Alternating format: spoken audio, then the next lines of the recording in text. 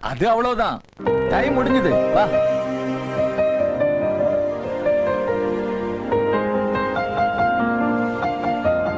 நான் வீழ்வேன் என்று நினைத்தாயோ?